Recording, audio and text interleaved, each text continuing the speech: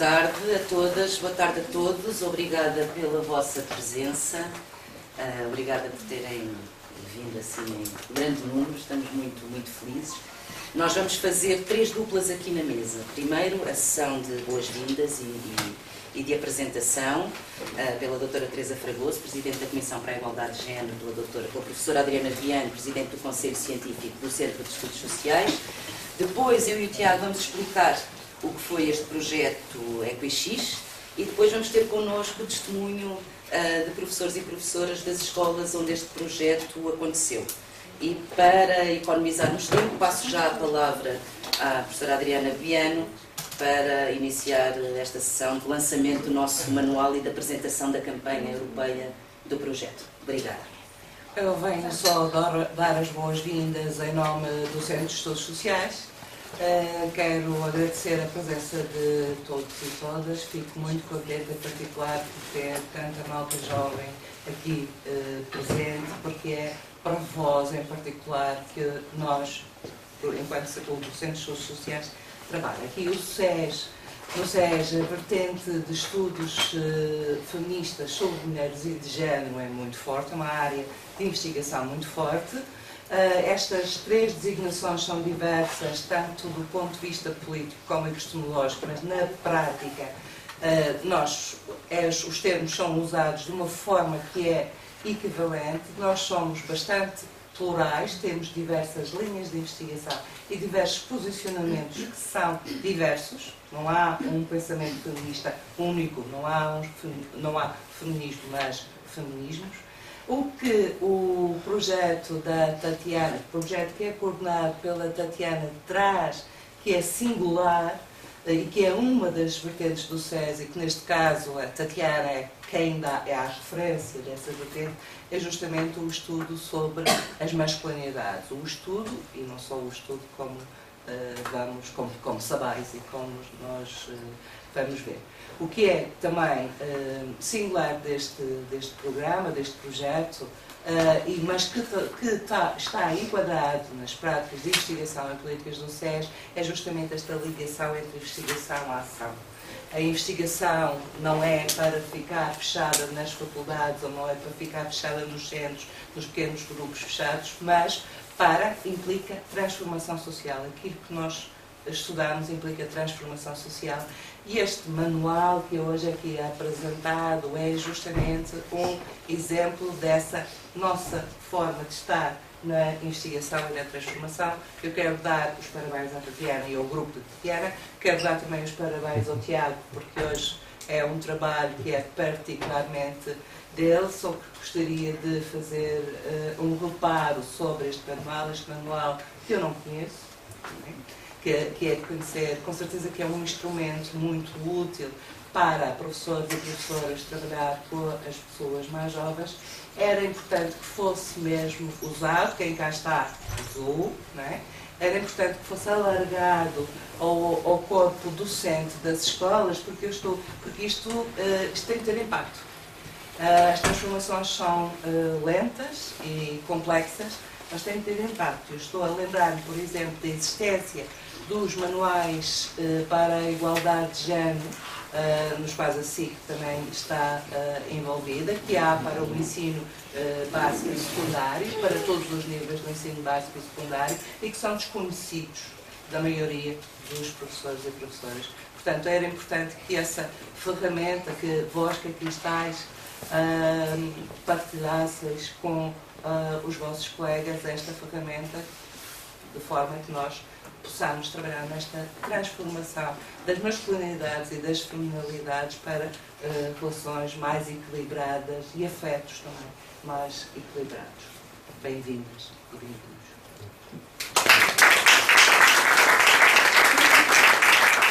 A Comissão para a Igualdade de Género é a nossa parceira neste, neste projeto, tal como a Secretaria, uh, para a, Igualdade, a Secretaria de Estado da Cidadania e Igualdade e, portanto, connosco hoje temos a, doutora Teresa Fragoso e pedimos-lhe umas palavras sobre, sobre esta parceria e sobre este projeto. Obrigada. Eu vejo que estão aqui uh, muitas pessoas jovens e se não me levasse a mal, eu sentava-me aqui porque gostava de lhes ver as caras. Leva mal no sentido que fico um bocadinho de costas. Muito bem, obrigada.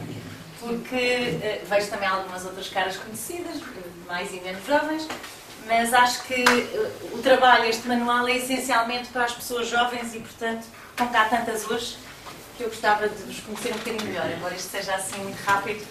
E se calhar, antes de, de dirigir a vocês, bom, faço assim aquele momento mais formal, institucional, os cumprimentos a todas as pessoas que cá estão hoje, dar, sem sombra de dúvida, os parabéns uh, ao projeto, aos resultados, ao trabalho destas duas pessoas, em particular a Tatiana Moura e o Tiago Pelino, uh, com o apoio do SES, com a parceria com a Promundo e do qual a SIC tem todo o orgulho e empenho em também ser parceira.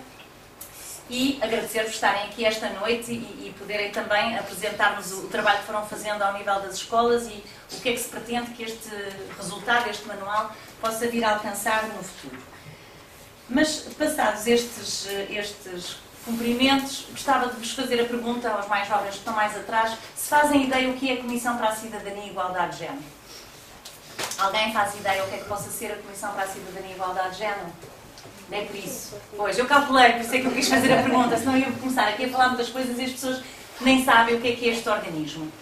Imaginem assim, o Ministério da Educação tem a Direção-Geral da Educação. É uma Direção-Geral que tem as políticas de educação, decide os manuais para as escolas, etc.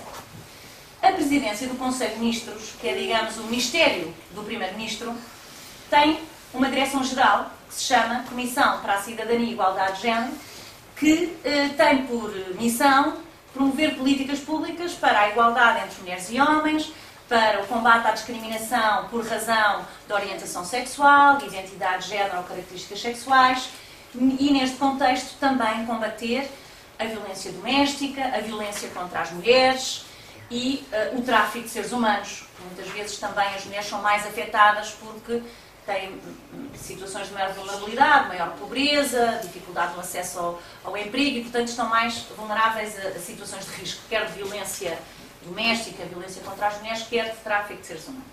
E, portanto, há este organismo público e com quem é que nós trabalhamos? Nós desenhamos as políticas e depois trabalhamos com os outros ministérios. Nós trabalhamos com o Ministério da Educação, por exemplo.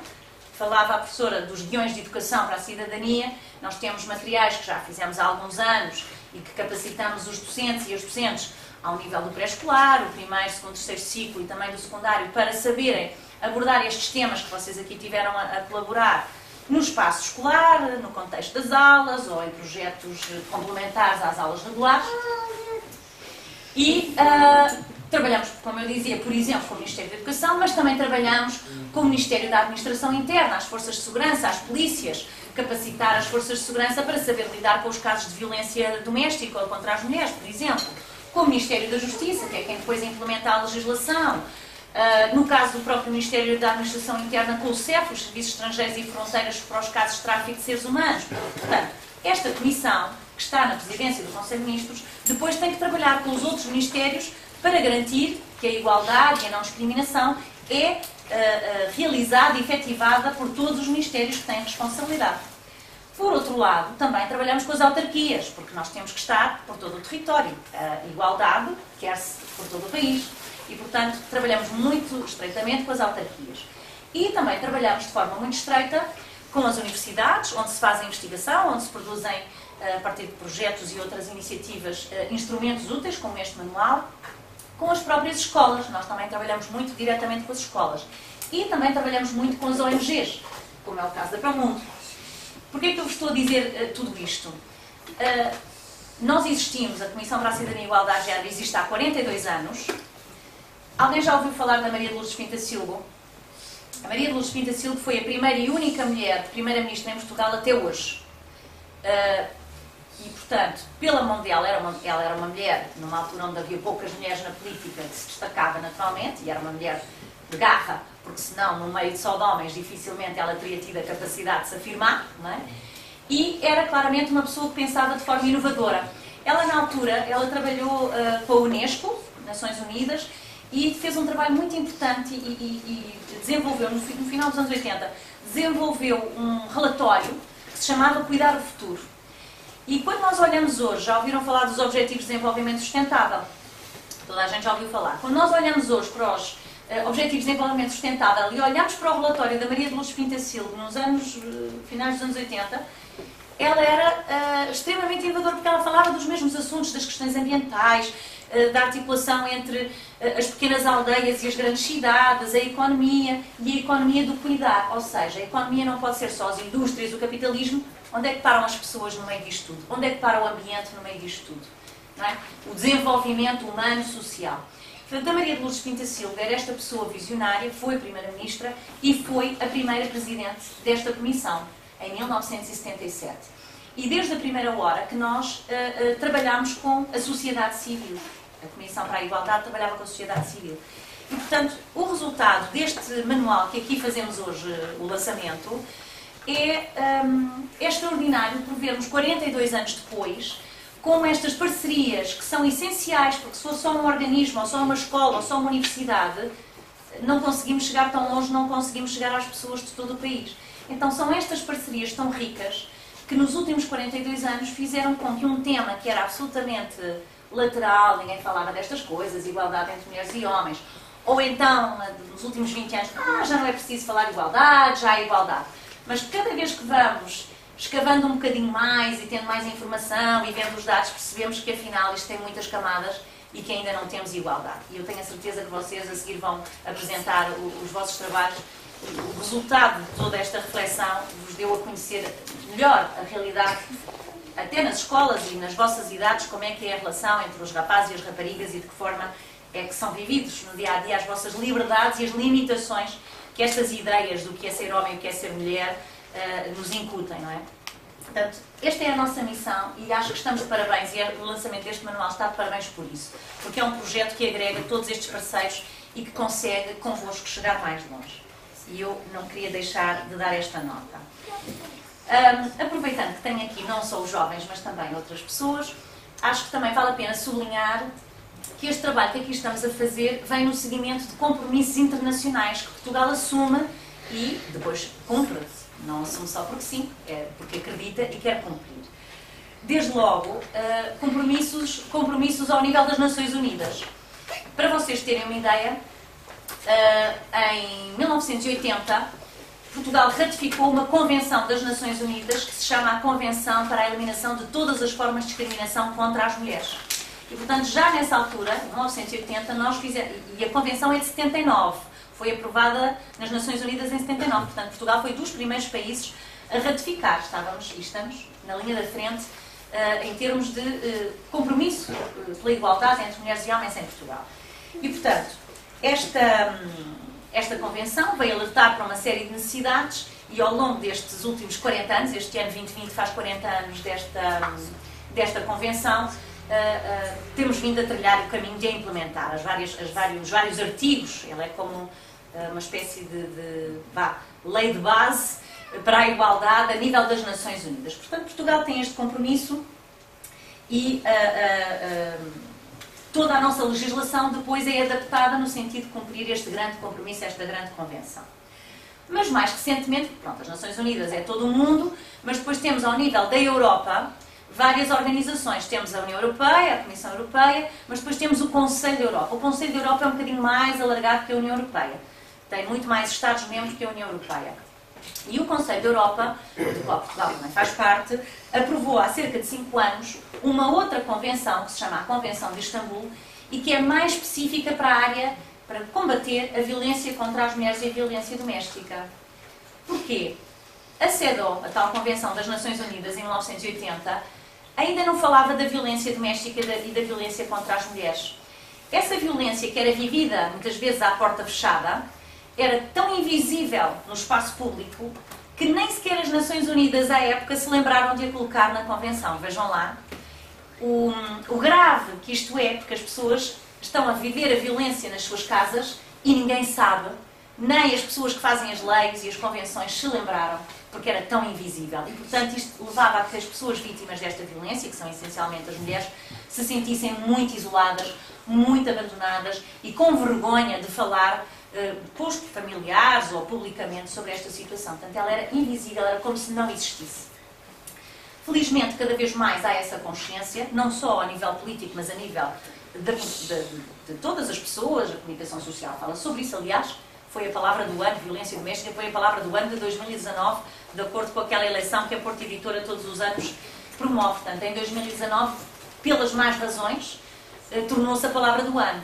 Mas é positivo no sentido em que eh, se fala sobre o assunto e se ganha visibilidade sobre esta situação que tem que ser combatida por homens e por mulheres. Todas e todos temos que trabalhar para eliminar esta violência contra as mulheres. E, portanto, eu dizia que há cinco anos o Conselho da Europa aprovou esta Convenção de Istambul, que é especificamente para prevenir e combater a violência contra as mulheres e a violência doméstica. Eles dizem assim: os Estados-parte tomarão as medidas necessárias para promover as mudanças nos padrões de comportamento socioculturais das mulheres e dos homens, tendo em vista erradicar os preconceitos, os costumes, as tradições e qualquer outra prática baseadas na ideia de inferioridade das mulheres ou em papéis estereotipados de mulheres ou de homens. Portanto, em 1980 isto ainda não era claro, felizmente em 2013 eh, já é claro. E Portugal foi dos primeiros Estados a ratificar esta convenção. Estas organizações internacionais eh, fazem muito trabalho, há recomendações, há inclusivamente, deixem-me ver se eu encontro aqui nas minhas notas, uma definição, eles criaram, o Conselho da Europa, a definição jurídica internacional do que é sexismo. O que é o sexismo? Eles dizem assim, é qualquer ato, gesto, representação visual, frase oral, escrita ou prática ou comportamento baseados na ideia de que uma pessoa ou um grupo de pessoas é inferior por causa do seu respectivo sexo. E por essa mesma razão, essa pessoa ou esse grupo é cometido numa determinada esfera, uns pública, outros privada. E, portanto, eh, esta definição eh, fala em vários objetivos e eu vou sublinhar um deles. Um dos objetivos eh, para se fazer isto é o de manter e reforçar estereótipos de género, quando, quando se cria esta divisão. E, um, e o que é que eles vêm estabelecer? Isto que eu acabava de falar das questões da violência, eles estabelecem a conexão entre estes atos de sexismo vulgar, a discriminação contra as mulheres, considerá-las inferiores, menos capazes na liderança, ou ganham menos salário porque fazem menos, ou porque falam muito ao telefone e não trabalham, enfim, há preconceitos e estereótipos para todo o género. E eles fazem a conexão entre estes uh, estereótipos e estes atos de sexismo vulgar e a violência contra as mulheres, afirmando que estes atos fazem parte de um contínuo, já vou explicar melhor, criando um clima de intimidação, de medo e discriminação que afeta sobretudo as mulheres e as raparigas. É um contínuo que é, por exemplo, na escola, eu venho cá fora ao recreio e alguém me faz um comentário, ah, ah esta rapariga uh, uh, vai com todos. Isto é uma discriminação que já estou. Mas se fosse um rapaz que tinha várias namoradas, por exemplo, já ninguém acha isso mal, até fiquei bem, porque é uma casa nova. Vejam lá como é a discriminação. Isto é, um, é, é, é, o início do contínuo, por exemplo, esta linha de discriminação, violência contra as mulheres. Que depois em casa já é se calhar, então mas chegaste tarde, onde é que andaste? Toma lá um tabefe. Já aumentou. Até ao nível de poder assassinar esta mulher ou, hoje falava-se muito nas redes sociais, dois rapazes italianos que no Reino Unido violaram uma rapariga na casa de banho e depois estavam muito contentes porque a tinham violado e a rapariga ficou hospitalizada uma semana. Portanto, o contínuo neste sentido pode ir desde o ato mais pequeno de esta rapariga vai com todos até violar uma, uma rapariga de 23 anos na discoteca. Dois rapazes contra uma rapariga.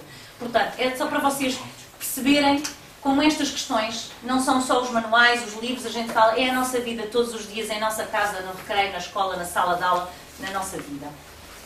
Este, este projeto, este manual, o trabalho que vocês fazem é importante e pode transformar as vossas vidas e as vidas das pessoas com quem vocês uh, uh, contactam diariamente.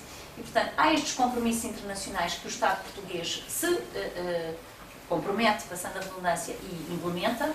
Implementa também a partir de estratégias nacionais que defende. Nós temos a Estratégia Nacional para a Igualdade e Não Discriminação, portanto, também a partir destes vários compromissos internacionais desenhamos a nossa própria estratégia e, portanto, eh, eh, desenvolvemos, eh, o próprio Estado tem vindo a desenvolver os seus materiais, ou em parceria com projetos como este, e, portanto, eu queria-vos trazer um bocadinho esta informação de como, para que é que serve esta comissão. Portanto, no fundo, nós fazemos aqui a ponte entre aqueles que são os compromissos do Estado português, está dito na nossa Constituição que temos que garantir a igualdade para homens e mulheres em todas as esferas da vida.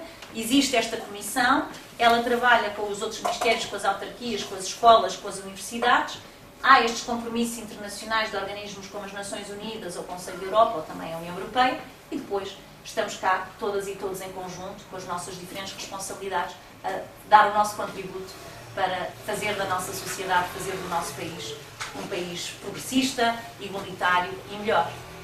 Só para concluir, falava aqui a professora, e eu sou péssima para nomes, a Adriana, peço, peço imensa desculpa. Falava a professora Adriana da importância de eh, agora como é que vamos utilizar este manual e como é que o vamos disseminar e fazê-lo chegar de forma estruturada a todas as escolas. É muito importante que a estratégia com as escolas seja de facto contínua, sistemática, estruturada.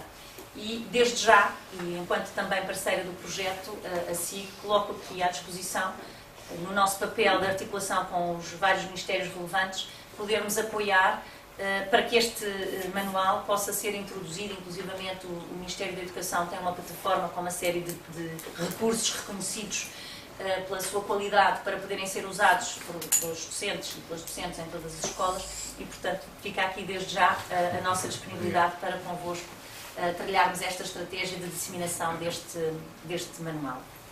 Muito obrigada pela vossa atenção e bom debate.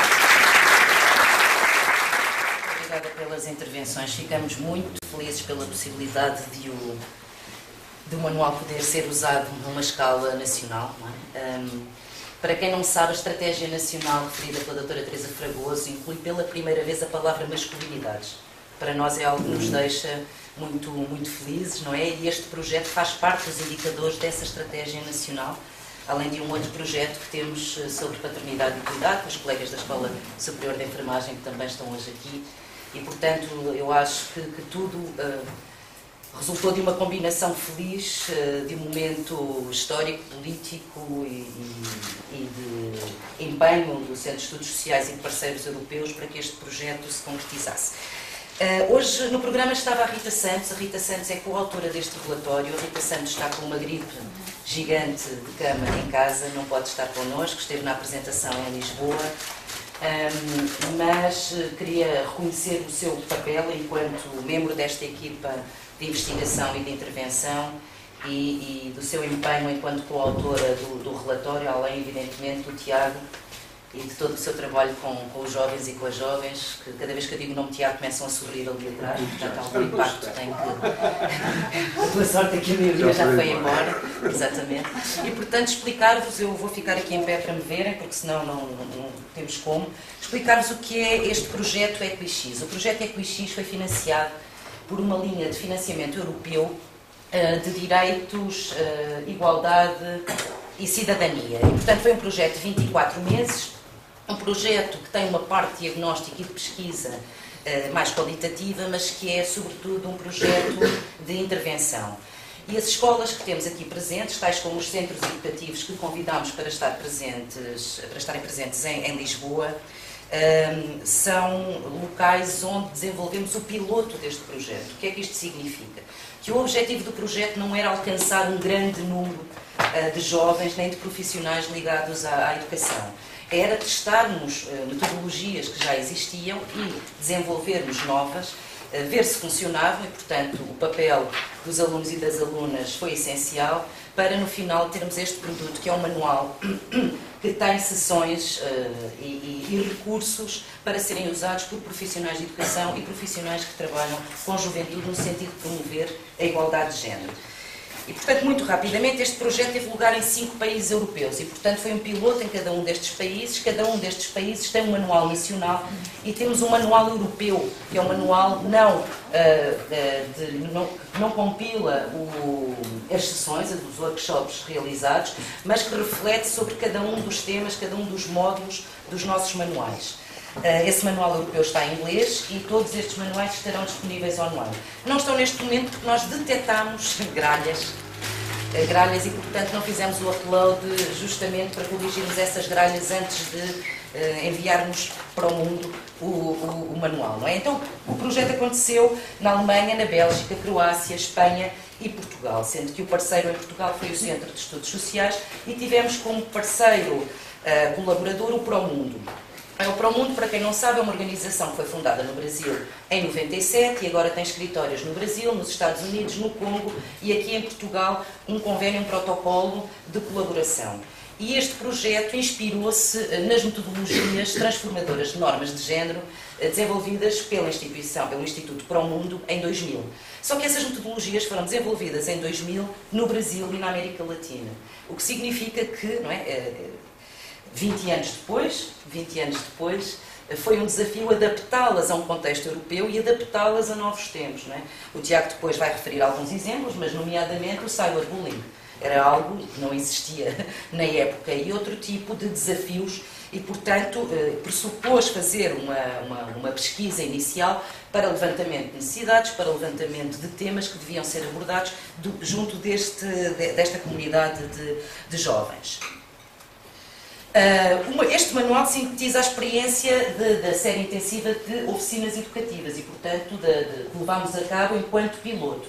E consistiu, aqui em Portugal, em 52 sessões educativas com 122 jovens, 63 rapazes e 59 raparigas, em escolas da região de Coimbra, porque como o SES, né, como nós estamos uh, aqui em Coimbra, uh, era mais fácil e também eu acho que mais prazeroso para nós trabalhar com a população que nos rodeia, tínhamos um acesso mais fácil, mas fomos além de Coimbra e, portanto, fomos também para os centros educativos de Navarro de Paiva, nos Olivais aqui em Coimbra e de Santa Clara. Quando eu digo região de Coimbra, Pombal eu considero região de Coimbra, se não é região, mas está aqui perto, está a 30 km, portanto. E visa ser uma ferramenta, estava eu o Tiago aqui a dizer, Pombal, eu sei que Pombal é aqui. E visa ser, como já foi referido, uma ferramenta de sensibilização e reforço de competências destinadas aos jovens, ao trabalho com jovens, em contextos de educação formal e não formal. Portanto, este é um manual que pode ser usado, e esperemos que eh, esta parceria faça com que seja eh, usada a escala nacional em escolas, é? mas também em contextos de educação não formal. Outras organizações com quem temos contacto e outras instituições em geral. E como já referimos, e, e destina-se a apoiar educadores e educadoras, profissionais que trabalham com, com jovens e tem como base uma abordagem de género e processo de aprendizagem ser na experiência e capacitação pessoal dos e das jovens. Bom, como é que está estruturado este manual? E nós temos ali em cima um sumário executivo e poucas cópias do manual, porque tentámos agregar a tempo. As cópias finais serão enviadas para as instituições que colaboraram connosco e estarão disponíveis em versões PDF nos sites, no site do SES desde logo, no site do projeto e, portanto, uh, uh, avisaremos atempadamente. Eu imagino que na próxima semana, início da próxima semana, já tenhamos corrigido as grades. Mas, bom, a estrutura do manual eh, que alguns de vós já têm nas mãos, tem prefácio uh, da nossa Secretária de Estado da Cidadania e Igualdade, Rosa Monteiro, tem uma introdução, é, é que fala o, que fazer antes de começar as oficinas, depois tem o processo de facilitação e depois tem as oficinas em si. As oficinas, como eu vos dizia, os módulos são os seguintes, são género, masculinidade, mídia e masculinidades, violências e diversidade, saúde sexual e reprodutiva e paternidade e cuidados. Uh, há aqui um, um, detalhe interessante, não temos cá as nossas colegas, a Júlia já saiu já, e a Sofia não está, mas o módulo de mídia e masculinidades é a primeira vez que nós usamos num manual deste tipo. E fizemos uma parceria com um projeto uh, do SES, não é, que se chama Descodificar Masculinidades, o Decodem, que trabalha justamente as questões de mídia e a reconstrução e elaboração de estereótipos de género para uh, desafiámos-las uh, a pensarem sessões, oficinas práticas para abordar este tema em escolas. Portanto, este módulo é completamente novo, não é? E os outros são diferentes de tudo o que já tínhamos feito antes. Temos depois o, o, ponto 4, depois das oficinas, como é que pensamos uma campanha? Porque estas metodologias transformadoras de normas de género, o que nos ensinaram ao longo de eh, 20 anos, de quem já trabalha nestes temas, é que nós podemos fazer estes trabalhos nas escolas, mas muitas vezes desenvolver campanhas são campanhas pensadas pelos e pelas jovens, tem mais impacto. Portanto, construir mensagens eh, não é, a partir do ponto de vista eh, de quem está a receber este tipo de formação tem um impacto não só individual, mas a nível da comunidade. E isto, depois de ouvirmos um pouco das experiências de, na escola, no Dona Maria de Pombal, vamos entender um pouco porquê. Nós trabalhamos com turmas e depois a campanha ampliou-se ao nível da escola. Não é? E, e, no final terminaremos com um pequeno vídeo que é a nossa campanha europeia. É? Ou seja, para alcançarmos a escala europeia é evidente que não podíamos fazer algo físico, tinha que ser algo que possa ser disseminado pelas redes sociais e virtualmente, e portanto os cinco parceiros deste projeto elaboraram um pequeno vídeo uh, a que chamamos a nossa campanha europeia. E depois o último ponto é um glossário com, com, com o significado de algum dos conceitos que, que, que usamos. E, portanto, na introdução temos a síntese do programa, porque trabalhar com rapazes, não é? Uh, também trabalhamos com, com raparigas, como vocês sabem, e fizeram parte disso, mas o foco era muito o debate sobre masculinidades, não é?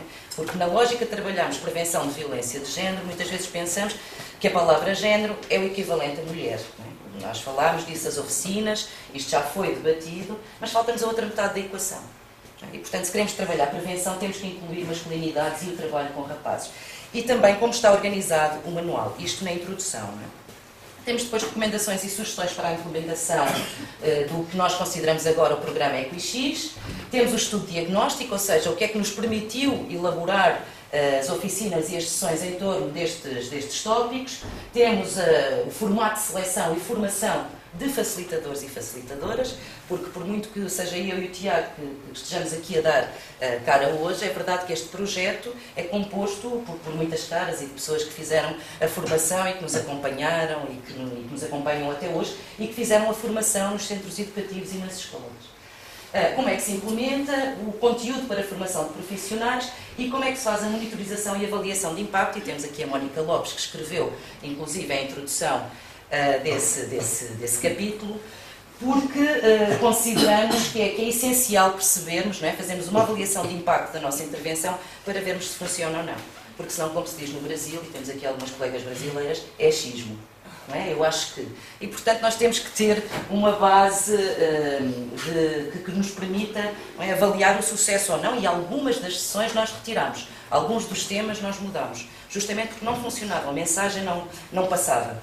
E, portanto, eh, aqui está um, está um pouco da nossa reflexão sobre, sobre isso. Na parte da facilitação, encontram sugestões para facilitar o processo de condução das oficinas, dicas de facilitação com grupos de, de jovens, não é? porque muitas vezes as aulas passam mais pela exposição. Aulas que são essencialmente expositivas e muitos educadores e educadoras não estão habituados a fazer eh, dinâmicas, trabalhos mais é, interativos com, com jovens. E, portanto, aqui encontram dicas de facilitação no caso de quererem levar a cabo algumas das, das sessões. E também dicas sobre questões éticas, questões sensíveis que surgem, aconteceu-nos ao longo da implementação do projeto, surgirem não é, questões individuais uh, complexas, é? complexas, porque isto uh, abre uma, uma caixinha. E, portanto, aqui são as oficinas que já referimos atrás, não é?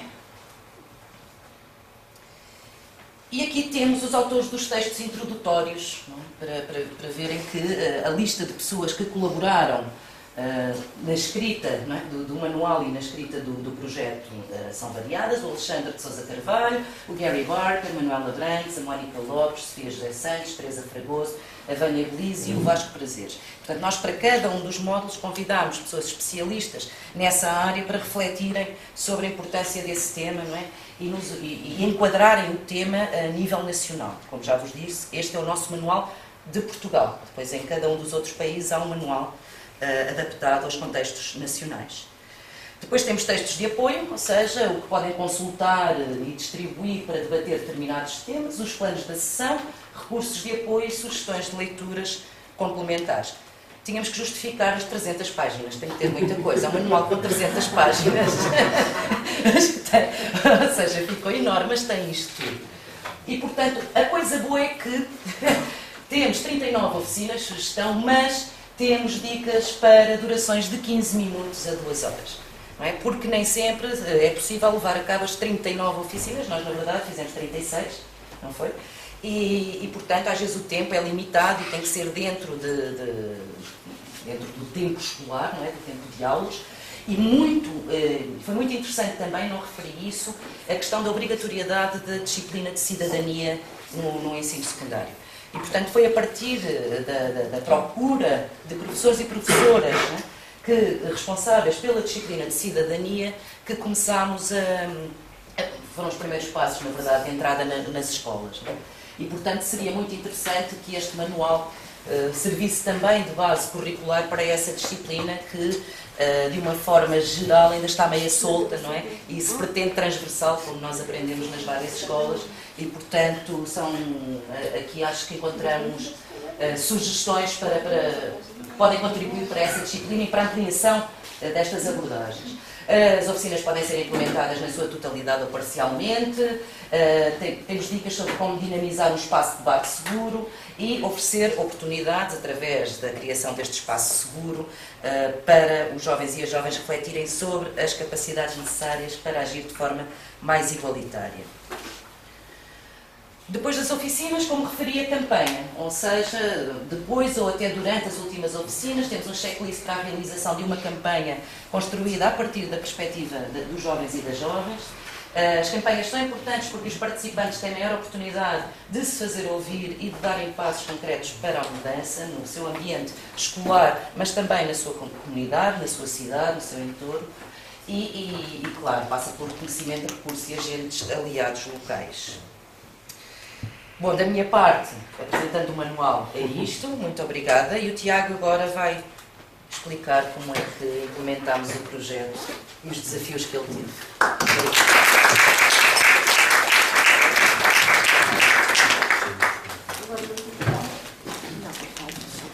Não sai mais ninguém. Até entraram. É. Bem, Boa tarde a todas as pessoas, é um gosto estar aqui. Correndo o risco da Tatiana depois dizer que eu estou nos Oscars, eu, eu começo sempre por agradecer.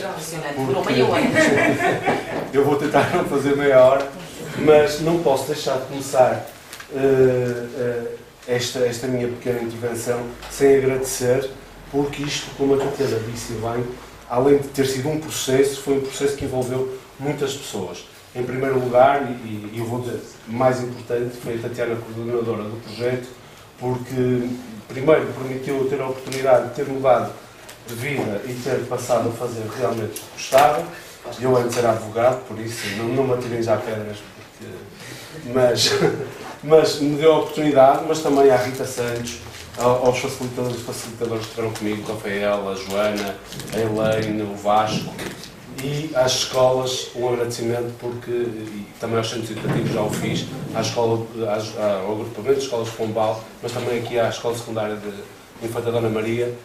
Nós gostamos de advogados que defendem os direitos humanos. Ah, por exemplo, desses são bons. Eu tentei, mas expulsaram-me. Uh, Uh, e também ao agrupamento de escolas Pombal, à escola de Infanta, uh, secundária Infanta Dona Maria, que nos permitiram que nós uh, entrássemos lá dentro, nos abriram a porta com a maior humanidade, a professora Lina e a professora Adelaide Espírito Santo, que não está aqui. Agradeço-vos do fundo do coração porque foi, foi mesmo muito importante a vossa colaboração e, e permitiu que, que nós realizássemos este trabalho. Este trabalho começou com reuniões com o nosso Technical Advisory Group e com períodos eh, e, e, e advocates e decisores, onde nos permitiu eh, ter eh, uma ideia geral de como, como a Tatiana referiu, adaptar manuais e metodologias que já, vinham, que já tinham 20 anos e eram de um contexto geográfico, socioeconómico muito diferente e que nos ajudaram não só no início, mas também ao longo de todo o projeto a, a, a ultrapassar alguns problemas e, e, e a dar-nos ideias de como fazer. Outra, outra ajuda que tivemos logo neste, neste início foi as entrevistas exploratórias que tivemos com determinadas pessoas, os grupos focais e, e também o estudo diagnóstico em locais similares. Não posso deixar também de referir a importância que houve uh, no projeto piloto, o piloto do piloto, porque este projeto é um piloto, que realizamos uh, em uh, quatro lares de acolhimento aqui da região centro e que nos permitiu, de certa forma, em parceria com, com a ARC, que é uma organização de direitos humanos aqui de Coimbra, que nos permitiu ter uma ideia bastante clara das duas realidades que encontramos, uh, que encontramos. tanto dos centros educativos como das escolas, porque nós intervemos com crianças, jovens, rapazes e raparigas que estavam institucionalizados em lares de acolhimento, mas que também frequentavam as escolas e o tecido escolar eh, real. Portanto, deu-nos uma ideia de como, poder, eh, como poderíamos implementar este projeto. Tivemos também sessões abertas ou de apresentação em determinadas escolas, como uh, em Pombal, no, no, naquele dia de engenheiras por um dia, uh, e nas escolas anexas, aqui em Coimbra, mas também na Vissaia Barreto, duas sessões que nos permitiram não só abrir algumas portas, como em Pombal, mas como também uh, experimentarmos algumas das coisas que iríamos fazer a seguir. Como a Tatiana referiu, não posso deixar de, de dizer também que foi muito importante a, a, a, disciplina de cidadania, porque nos permitiu também termos um local, umas horas, e agradeço aos professores que nos cederam uh, tempos de, de aulas para podermos implementar o projeto. E eu estou a agradecer muito. Estás a agradecer? São 10 minutos. São 10 minutos. Aos Oscars. Muito obrigado também. Bem, o, isto, uh, na prática, nós, entre escolas e centros educativos, realizamos 52 sessões educativas, no total de quase 120 horas, com 34 oficinas utilizadas uh, e alcançamos 122 jovens, 59 raparigas e 63 rapazes, em idades compreendidas entre os 12 e os 18 anos. Mais especificamente, uh, nas escolas, uh, implementámos aqui na Escola Secundária de Infante da Dona Maria, com 12 sessões, tirando as duas sessões de campanha que realizamos, portanto seriam 14, mas na implementação do projeto propriamente dito. Foram 12, quase 19 horas, e foi aqui com o décimo, o décimo ano que esteve aqui presente e que muito gosto me deu e fiquei bastante emocionado. Na escola secundária de Pombal, do agrupamento de Pombal, realizámos 11 sessões com duração de, de quase 22 horas. Isto porquê? Porque, como íamos para longe, aproveitávamos algum tempo dos intervalos porque é para aproveitar mesmo tempo, deu algum tempo a mais lá em Pombal, também com o décimo ano.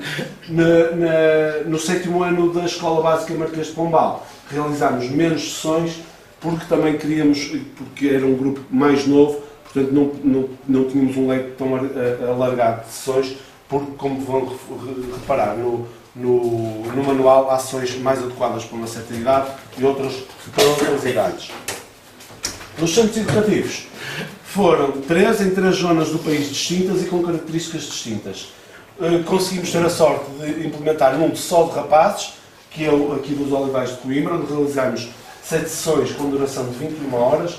Isto foi pensado, nós tínhamos pensado implementar num centro educativo só e depois, em reunião com a DGRSP, disseram que em, em, em Conselho de Ministros tinham aprovado fazermos em três. Portanto, nós em três dias tivemos que arranjar facilitadores e facilitadoras para, na Semana da Páscoa, em duas semanas, fazermos estas, estas horas todas. Portanto, em Lisboa foi o, o que é o, o, seguinte, que é um, eu pus aqui misto mitigado, mas em Lisboa já nos disseram que era agora totalmente misto. Na altura era de rapazes e raparigas, mas totalmente separado. Ou seja, eles não, nem sequer se cruzavam os rapazes e raparigas do centro educativo. O de Santa Clara era o único do país onde eh, os rapazes e raparigas estavam juntos, faziam tudo juntos, exceto dormir, refeições e, e higiene. Portanto, tivemos uma, uma noção muito alargada de como funcionam os centros educativos. Foi a primeira vez que alguém fez algum tipo de intervenção deste género nos centros educativos e que nos deu uh, uma experiência uh, bastante diferente das escolas uh, por todas as condicionantes que, que, que encontramos. Estas são algumas imagens de, das escolas e a seguir dos centros educativos, eh, também das oficinas e dos centros educativos. Não posso deixar de terminar sem, sem dizer que os grupos que encontramos eram bastante distintos, tanto nas escolas, nas três escolas, não só pela idade, mas também pela região geográfica. Por isso é que eu falei em Pombal, porque apesar de ser aqui na região de Coimbra, uh, uh, eram bastante diferentes, nos centros educativos também, mas tinham uma coisa em comum. Eram bastante interessados e interessadas, aprendemos, nós, facilitadores e facilitadoras, aprendemos com, com eles e com elas, porque eu digo sempre, e a Tatiana referiu isso numa, na parte da facilitação, nós não somos nem formadores nem professores, não, não poderíamos ser, porque para já os professores é, é, para mim, das profissões mais difíceis do mundo, não o somos. O que, o que fazíamos com os jovens e com as jovens era pensarmos em conjunto, uh, refletirmos estas ideias e conceitos que nós trazíamos de novo, mas o que aconteceu foi que eu aprendi muito mais naquele, neste, nestes dois anos do que na minha vida toda. Por isso, muito obrigado por tudo. É é verdade, é verdade. E eu, eu sou um sentimentalão. Só não choro porque depois em casa vão me dizer que eu sou um sentimentalão. Muito obrigado por tudo. Foi um gosto estar aqui convosco.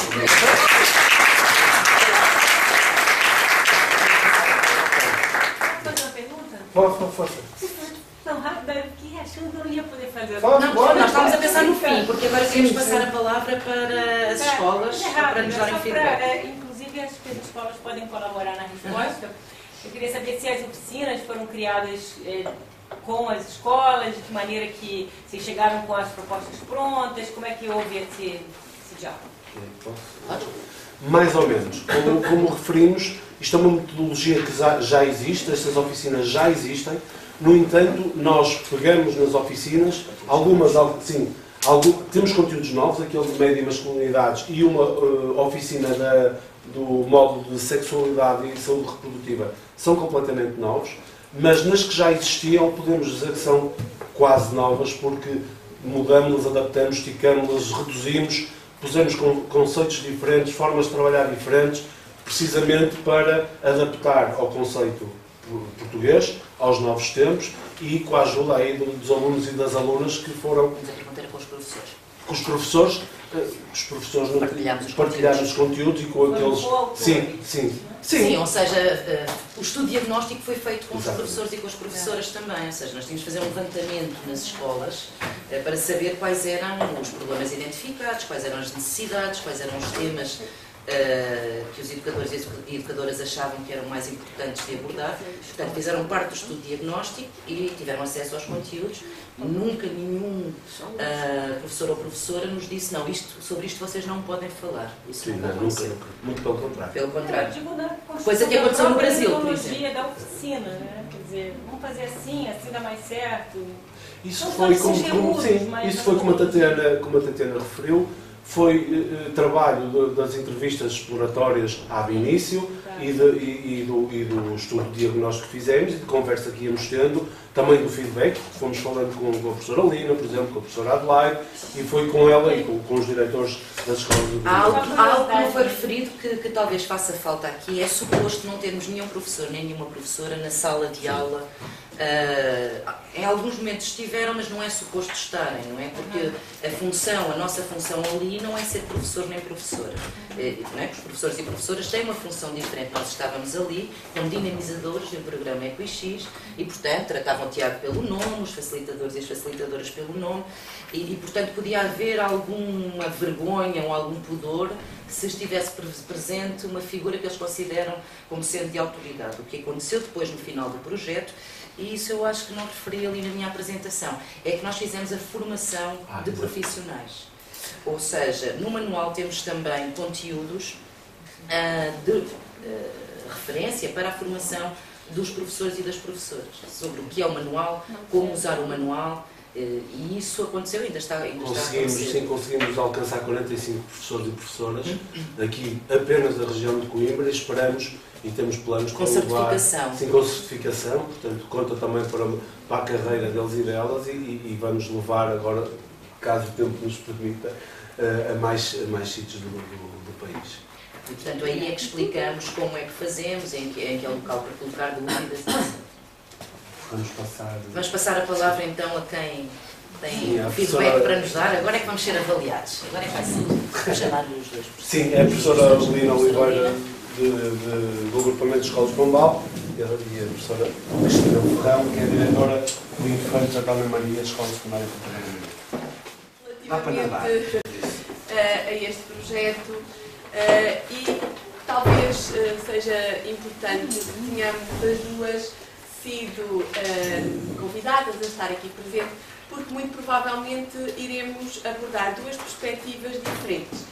Eh, a professora Lina, que é eh, da escola, do agrupamento de escolas de Pombal, muito provavelmente vai focar-se mais concretamente na relação eh, que os alunos provavelmente tiveram com os facilitadores. Eu penso que terá sido o Tiago, pelo menos na, na escola secundária Infanta Dona Maria foi o Tiago. Uh, eu irei abordar um fator de caráter mais administrativo, porque eu não me envolvi propriamente no projeto.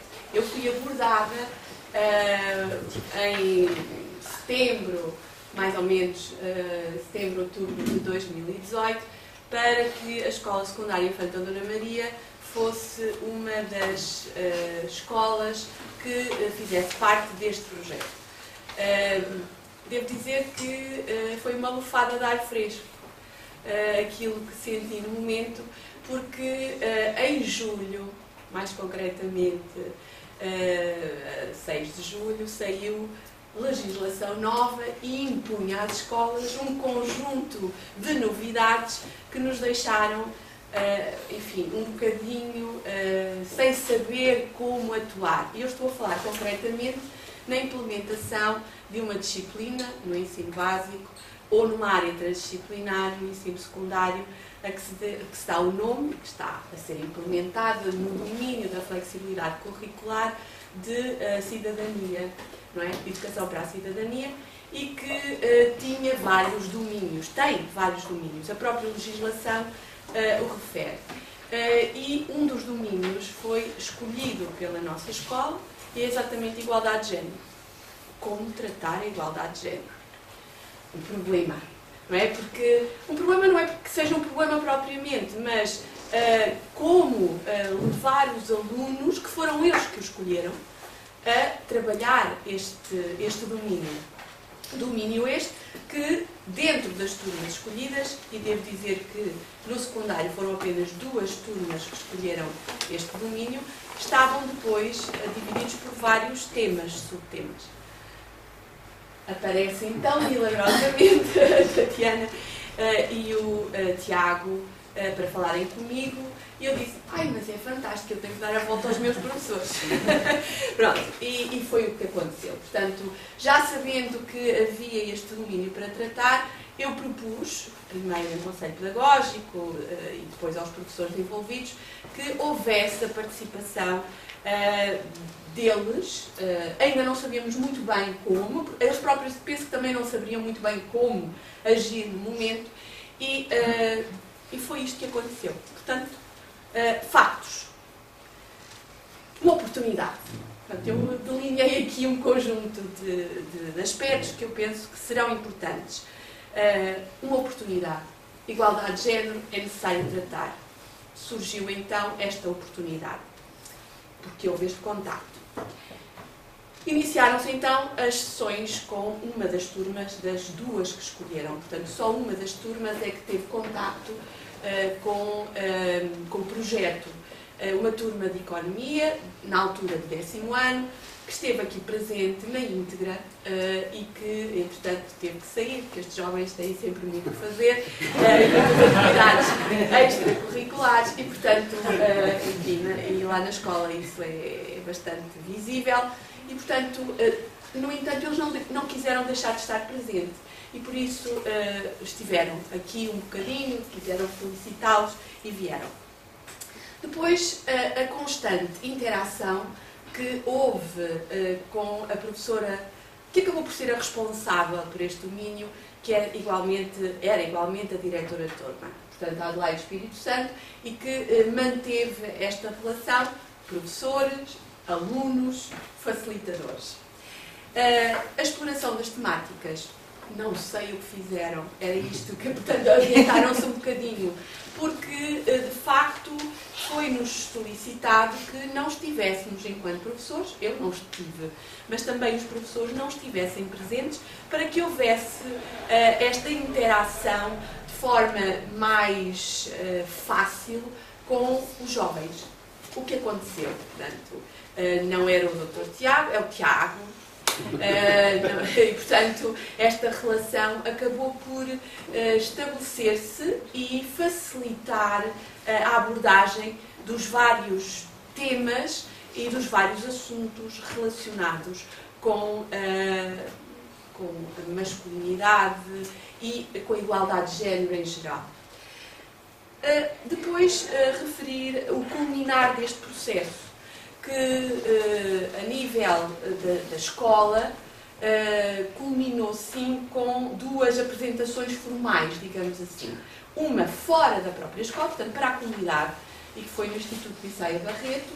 A, escola, a escola foi convidada a participar num evento que ocorreu já no final do ano letivo transato, Uh, e onde os nossos alunos puderam participar, mostrando o trabalho que fizeram. Pediram, entretanto, a ajuda do Tiago, que esteve presente com eles.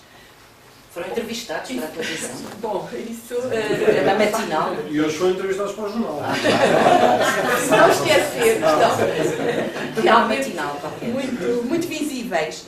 Uh, além disso, um, a escola promove anualmente aquilo que se designa de, escola, de aberto e esse dia aberto é para toda a comunidade.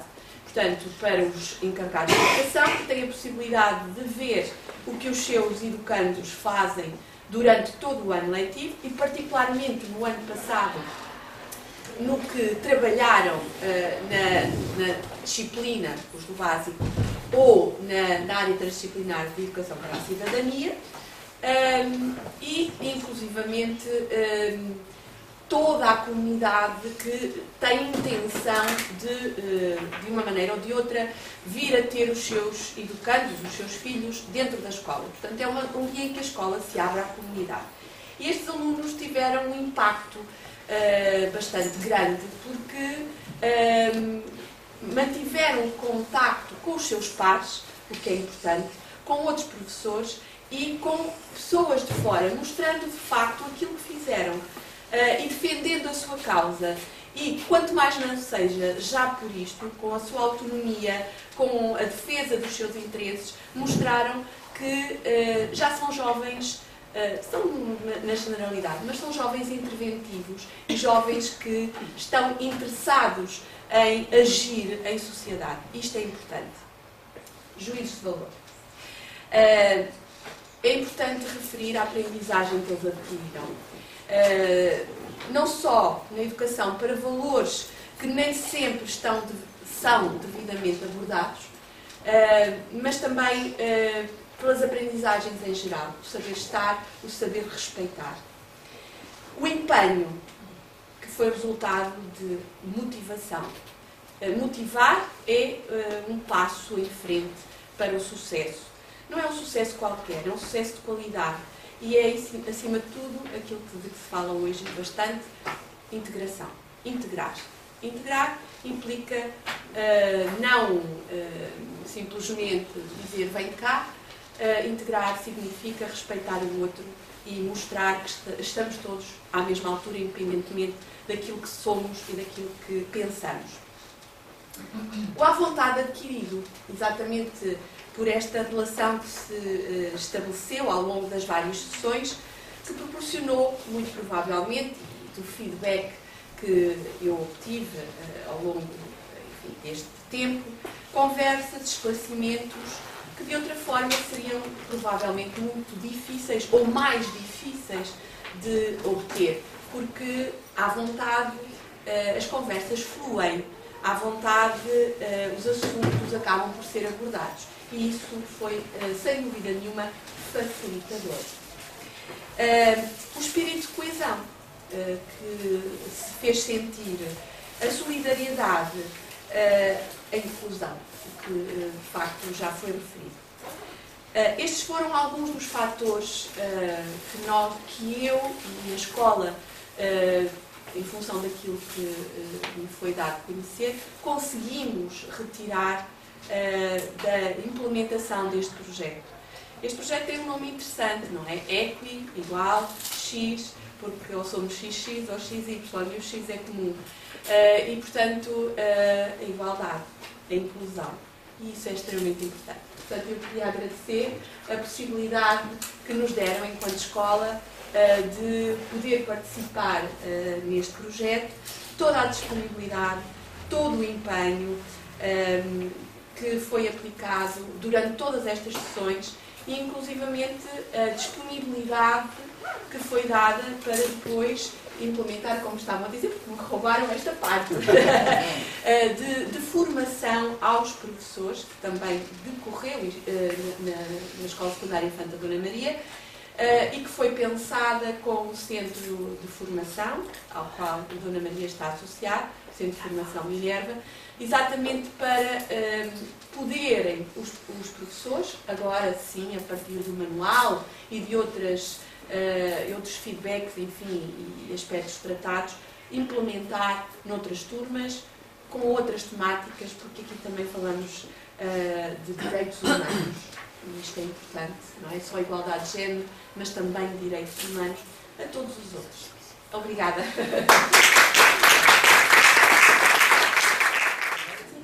sou Leonor Oliveira, Escola Secundária de Pombal, estou aqui com o diretor do Grupo das Escolas de Pombal, na moda que está lá atrás. Estamos com os dois. Tiago, pode dizer, uh, encontramos, encontramos, pode dizer, ah, posso, está dentro da norma, está bem? Está certo. Muito obrigado. Não vai agora Pronto, uh, eu, eu não sei exatamente o que é que se passou nas sessões, está bem? Eu vou trazer aqui uns subsídios que eu espero que sejam breves, que foi o meu acompanhamento de tudo isto e algumas reflexões que eu faço, não só como professora que acompanhou o que se passou neste projeto, mas também eh, eu preocupo-me muito com as questões da igualdade de género e foi assim que tudo começou, precisamente porque nós tivemos no ano 2017 18 o projeto, temos, e continuamos a ter o projeto uh, Engenheiras por um Dia, que na altura era promovido pela, pela SIG e pela presidência do Conselho de Ministros, acho eu, se não estou a erro. Pelo, e pelo Instituto Superior Técnico, aliás, continua a ser também um, um dos colaboradores. E no âmbito, eu fiquei a coordenar uh, essa iniciativa, eu fiquei a conhecer essa iniciativa através da Teresa Alvarez, com quem me tinha cruzado em, em atividades, ações sobre a igualdade de género, também já falo um bocadinho sobre isto, que é o acaso de como isto, tudo isto vai parar ao agrupamento de escolas de Pombal. A Teresa Alvarez, que é especialista de educação. Exatamente, exatamente.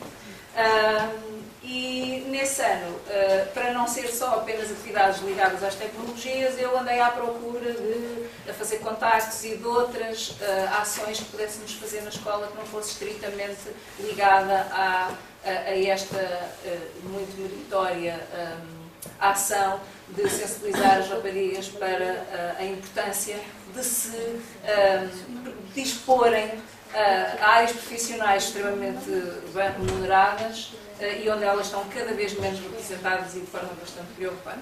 Então, eh, procurem na internet, na página do SESP, já conhecia o programa eh, O SESP vai às escolas, eventuais palestras que fossem ao encontro daquilo que eu pretendia. E foi nesta busca que encontrei a Tatiana, que eu, na altura, até estava no Brasil. Eu mandei um mail a pensar, não sei se isto, se alguém vai responder, mas sim.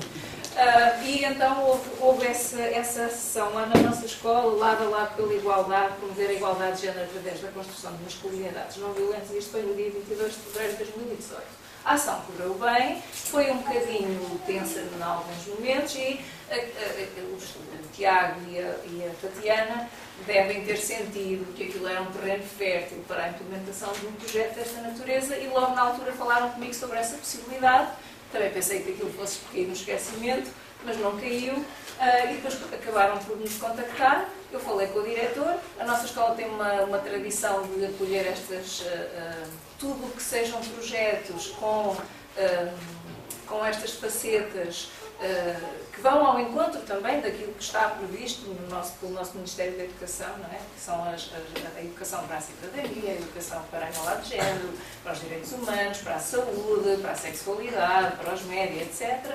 E que, no fundo, trazem um enriquecimento porque são as experiências académicas dos nossos alunos e dos nossos alunos. E, portanto, foi assim que uh, a escola, o nosso agrupamento entrou no projeto.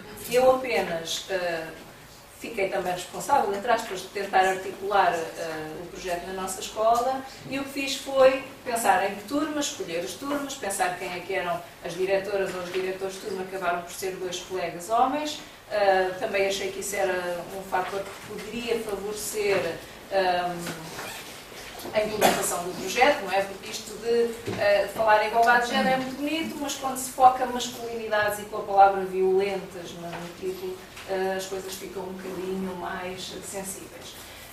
Escolher as turmas também tendo em conta o equilíbrio entre o número de rapazes e raparigas.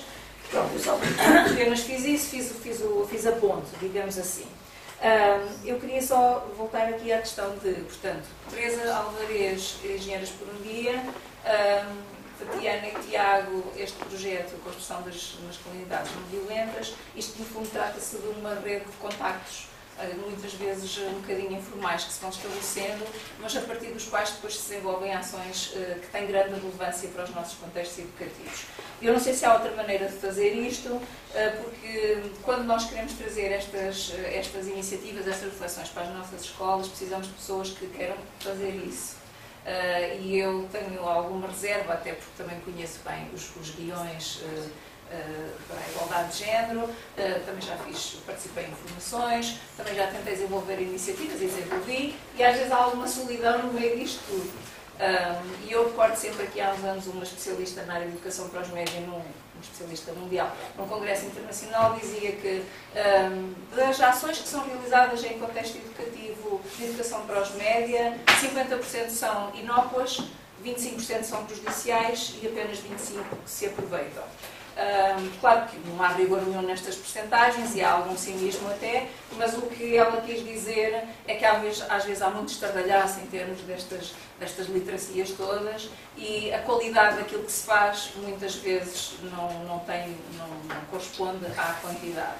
Portanto, é, é, o facto de, se, os alunos e as alunas tratarem o teatro por tu e das professoras e as pessoas não estarem na sala de aula tenho a certeza absoluta que foi um fator determinante do êxito deste, deste, deste projeto piloto. E depois, no final da minha breve, quer que seja breve, uh, apresentação, vou ler algumas uh, reflexões feitas pelas, pelos alunos, uh, oito alunos e uma aluna da turma do 11 ano, que agora estão no 11 ano, a quem eu pedi há alguns dias que me escrevessem a partir de uns temas que eu já vou dizer quais são.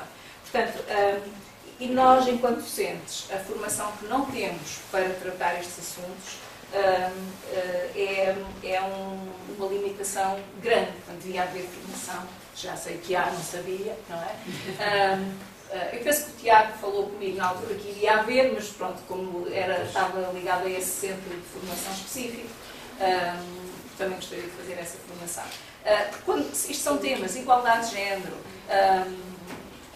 a questão, por exemplo, da educação para os média, os direitos humanos, todas estas áreas que de facto se intercruzam, não é? Um, requerem da nossa parte enquanto centros uma reflexão, porque nós também já trazemos toda uma bagagem e todo um conjunto de estereótipos e preconceitos que nos foram incutidos numa altura em que nós não tínhamos filtros e não, não tínhamos essa capacidade de refletir. E há muitos automatismos, não é? Isto, ah, lia um investigador, precisamente do SES, escrevia há alguns dias que uh, era difícil ele dizer-se um, eu não sou racista, eu não sou sexista, eu sou anti-racismo, eu sou anti-sexismo. Que é muito diferente dizer eu não sou, porque nós, nós temos cá dentro uh, já automatismos que nos obrigam a estar constantemente a fazer a análise da, da nossa, do nosso comportamento, da forma como pensamos e sentimos, porque é nessa reflexão é que somos anti todo, todas essas formas de discriminação e não na, nas atitudes, porque muitas vezes se não filtrarmos as atitudes, elas vêm com esses automatismos. Portanto, eu, eu tenho sempre algumas reservas em, em expandir isto a nível nacional, sem uma reflexão muito cuidada e um trabalho de formação que nós docentes precisamos. Um, Pronto, uh, por isso acho, acho eu não vou largar, eu vou dizer o que é que eu pedi às alunas e aos alunos desta turma. Quando me viram entrar, disse, ah, sabem, lembram-se de mim e eles disseram, ah, é das engenheiras. o ano passado também participaram as alunas da turma numa atividade das engenheiras. E disse, não, eu venho cá por causa de outra coisa, um, que eles já não se lembravam de eu ter estado lá na turma com eles. Então eu pedi-lhes isto. Uh, o que pensei e senti quando soube que íamos participar num projeto de construção de masculinidades não violentas, que ideias prévias eu tinha acerca destes temas, com, como essas ideias prévias foram abordadas, desafiadas, transformadas no projeto, qual a relevância pessoal da reflexão sobre estes temas e que mudanças originaram em mim, qual a relevância destas reflexões para jovens da idade escolar e outros comentários pessoais. Disse-lhes expressamente que não precisavam responder a todos estes itens e que se sentissem à vontade para fazer um texto, um texto, um texto fluido, sem preocupação nenhuma. Eram só ideias podiam servir como mote para escreverem alguma coisa. E eu vou ler o que escreveram, não está cá tudo, mas está cá a maior parte. Então, se não se importam, vou ler o que disseram os alunos e uma aluna, quando chegar à aluna, eu digo porque acho importante e vou deixar para o fim uh, aquilo que acho que é food for thought, matéria para reflexão, uh, sobre a importância que isto teve para estas pessoas. Quando soube que íamos participar num projeto de construção de masculinidade não violentas, achei que ia ser só mais uma palestra informativa e monótona. Uh, isto era o ponto 1. Um. Eu vou ler isto, vai tudo seguir. Não era contra, mas também não tinha informação de como é que certas pessoas eram inseridas na sociedade e de que forma. Essas ideias foram abordadas com atividades lúdicas muito interessantes e com o que eu acho mais importante, debates com questões que nos faziam refletir e abrir horizontes. Passei a ter em consideração estatísticas e realidades que não tinha antes. Eu gosto desta das estatísticas, não sei de onde é que isto vem. Eu, quando estes temas eh, da, quando estes temas de género vêm, vêm à baila na minha aula e vêm muitas vezes, sou pessoa de, venho muitas vezes, sou pessoa de português, portanto a língua materna dá para falar tudo, a própria literatura presta-se a isso, o guião, de género do secundário tem lá a disciplina de português e alguns cruzamentos podemos fazer com os conteúdos literários, não é? Mas não é só aí que surge. E então, quando estamos a falar sobre os temas, eu costumo dizer, estatisticamente, há pelo menos duas pessoas nesta sala que têm uma identidade de género ou sexual não normativa, não binária. E começa a brincadeira, tal, e tu, ah, sou eu, e tal, tal. E depois, quando estão, quando estão calados, eu digo, estatisticamente, também estatisticamente, haverá duas pessoas nesta sala que fazem anos no mesmo dia. E quando, isto até hoje nunca falhou. Houve sempre duas pessoas na sala que fazem. E quando isso acontece, começam a pensar numa outra estatística. E vê-se nos olhares das pessoas o que é que elas estão a pensar. Eu estou a pensar, algumas estão a pensar, sou eu e eu tenho espaço para falar sobre isto porque eu caio em estatísticas. Outras estão a pensar. Se calhar são os meus colegas que estão a brincar, mas uh, o facto de podermos falar destas coisas na sala de aula, não é? É ótimo. É? é ótimo. E que estas questões estejam nas políticas educativas é excelente, nós, vemos, nós consideramos que isto é um pressuposto, mas nós vemos uh, à nossa volta, na Europa e não só, mas na Europa que nos interessa particularmente, eh, já tentativas de uh, tornar imorais estas discussões, a questão da ideologia de género, como se fosse possível falar de género sem nenhuma ideologia, não é? Uh, então, isto que consideramos um dado adquirido está a ser cada vez mais um privilégio, podermos levar estas questões para a sala de aula e as nossas alunas e os nossos alunos falarem das suas identidades de uma forma livre e, e permitindo este debate, porque partiu-se muita pedra. Uma vez passei à porta da sala de aula e estavam os ânimos inflamados, havia pessoas vermelhas na sala e pensei, Tiago, hoje deu cá, partiu a moça toda. Portanto, isto, não, não, aquilo assim me disse atenção. Fora as palavras que se dizia lá, Portanto, isto sobre, isto sobre as estatísticas, não é? Vou continuar, não vou fazer mais interrupções. Ajuda, chega, ajuda os alunos a crescer e a ter uma nova visão da sociedade em que vivem. Antes deste projeto, a minha mente era completamente fechada, ou seja, era machista e homofóbico. A forma como as ideias neste projeto foram apresentadas e desafiadas, na minha opinião, foram o ponto-chave do EPX. As perguntas faziam qualquer um pensar. Este projeto revolucionou-me completamente, mudou a minha maneira de pensar. Na minha opinião, deveria existir uma disciplina só para abordar este tema. EPX. Quando soube, quando soube que iríamos participar desta atividade, considerei pertinente devido à importância do assunto tratado. Penso que tinha uma mente mais fechada. Na maior parte do projeto foram feitos debates em que cada um dava a sua opinião sobre os assuntos tratados. Com este projeto podemos prevenir o crescimento do assassinato por conta da violência doméstica. Não sabia que havia tanta discriminação entre os dois sexos. Este tema fez-me refletir e mudar alguns comportamentos. Fiquei entusiasmado mas nunca pensei que fosse um projeto tão vasto. Antes do projeto já me considerava uma pessoa não machista, mas ainda por melhorar. Consegui evoluir, isto é tudo rapazes. Consegui evoluir e entender que posso já não ter de melhorar muito, mas ainda há pessoas que têm de melhorar.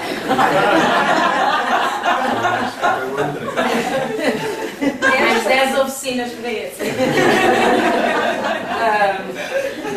Esta experiência abriu-me os olhos. Julgo que quanto mais cedo se intervier, eu quero dizer intervir, ainda não sabem conjugar o verbo intervir, que é grave, porque nós devemos intervir e bem, portanto o verbo deve estar bem conjugado. Um, Quanto mais cedo se intervier, mais impacto vai ter, por isso acho que a idade escolar já é um tema que se pode abranger. A rapariga. Quando soube que íamos participar neste projeto, senti que poderia ser bom para nós ouvir outras pessoas a falar de assuntos de tanta importância. Tinha expectativas altas para este projeto, mas definitivamente superou todas as minhas expectativas. Eu não paguei a ninguém. Na minha opinião, o projeto foi muito bem desenvolvido com as atividades certas, fez-nos ver as coisas de maneira diferente, criámos uma grande ligação com este projeto. Foram abordados temas bastante relevantes e importantes para serem debatidos por jovens nesta faixa etária. Foi dos melhores projetos em que já participei. Só tenho a agradecer aos colaboradores que se tornaram nossos amigos e que fizeram com que isto fosse possível.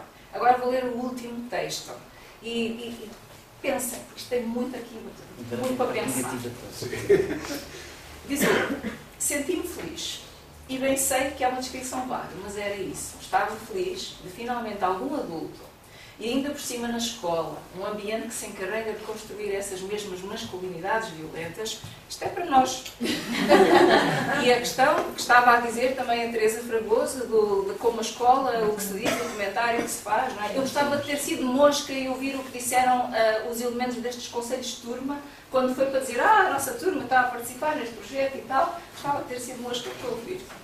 Uh, Portanto, num ambiente destes, se mostrar interessado em combater esta estupidez, desculpa a expressão, que é a masculinidade tóxica. Já era educado neste tema. Cresci num meio mais liberal nesta questão e pude explorar a minha masculinidade de várias formas, algumas a contragosto do meu pai, que, como todos os adultos, vem de uma geração geralmente muito fechada a estas reflexões. Mesmo já tendo ouvido falar deste tema, percebi que havia muito mais a falar e a conhecer. Com as explicações do Tiago, é verdade, apercebi que, sendo o homem e o ser à volta do qual gira toda a nossa sociedade, tudo que, o, que afeta, o que o afeta negativamente, o que afeta negativamente o homem, iria afetar negativamente outras pessoas, eu suponho que são as mulheres, criando diversos problemas com que a nossa sociedade se debate agora. Sei agora, esta frase, sei agora onde é preciso gastar a minha energia. Para acabar com o machismo, temos de desconstruir os rapazes e pô-los a pensar mais do que as raparigas. Sei que ainda tenho muito que estudar sobre estes temas, principalmente sobre sexo e sexualidade. Pois é, é, é, o que é espantoso é como estes projetos, muitas vezes, vão ao encontro de necessidades que são urgentes da parte de alguns dos nossos alunos e das nossas alunas. E como isto faz toda a diferença para eles e para elas. Uh, houve duas sessões em que falámos sobre o uso de preservativos e o consentimento e o assédio, um tema que deixou alguns rapazes norteados, não que eles o mostrassem durante a sessão. Agora tens de pedir permissão para tudo. Sim, é esse o objetivo. E se isso te incomoda, não te aproximes de ninguém. Estas sessões são importantes, pois permitem-nos muito frontalmente saber de quem te afastares da turma, ao mesmo tempo que sabes quem são as pessoas que têm os pés assentes na terra e o bom senso a trabalhar. Estas foram as dinâmicas que se desenvolveram entre, as, entre os próprios elementos da turma, fora das intervenções que foram feitas ao longo deste tempo. Uh, achei uma discussão muito útil, mas infelizmente tardia. Muitos dos rapazes, visto que era deles que a discussão incidia, já perceberam que ser machista não é fixe, que não é normal expressar opiniões impopulares em voz alta e que mulheres não vivem para homens. Mas ainda há imenso. Portanto, o que eu quero dizer, que a gente compreende, não é? É que uh, há toda uma linguagem que não se utiliza, porque não é pronto, correta, não é? Não é como se diz politicamente correta, mas não é correto politicamente, mas que um, não quer dizer que não se tenham os preconceitos. E o que eu acho é, é, muito, ainda bem que as pessoas têm higiene verbal e não, e não verbalizam os seus preconceitos, os seus ódios, porque é por causa disso é que depois se passa para o seguinte passo, que é a, a violência, como nós estamos a assistir em Portugal neste momento, com a chegada ao poder. Uh, então eu termino dizendo isto. Mas ainda há imenso preconceito contra a comunidade LGBT e, apesar desse ter sido um tema discutido, o, cimento, o sentimento de nós não diminuiu. Em que século estamos mesmo? Em que século?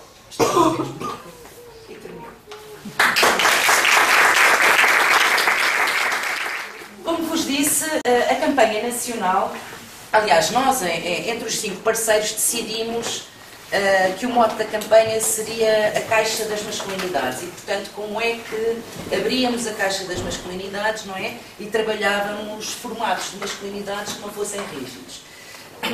Nacionalmente, uh, foi uma campanha física, não é? Tinham caixas eh, espalhadas com mensagens dentro, no, Dona Maria, nas escolas espalhados, foi isso que fomos apresentar, foram apresentar à Bissaia, que abriram para a comunidade, mas como vos disse, a nível europeu tínhamos que fazer um vídeo.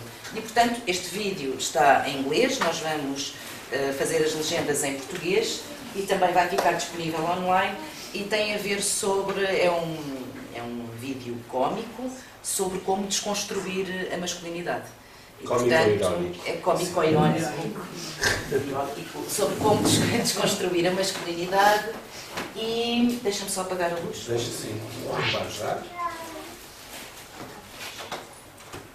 E depois terminamos a nossa sessão. Deixem-me só apagar.